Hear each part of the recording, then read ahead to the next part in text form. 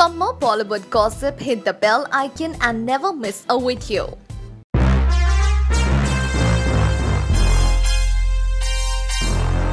Suniel Shetty is going to come back in a reality show as a judge. The show India's Asli Champion Hai Dum will have Suniel back in action after ages. The 55 year old actor was a great hero of his times and people used to refer him as Anna. Well, for starters, we are loving this unique combination of brawn and brain for Suniel is a great combination of the two. Suniel has been ably supported by actors like Salman and Akshay who have stood up for their best friend. Yes, they have shared with the social media about Suniel's comeback.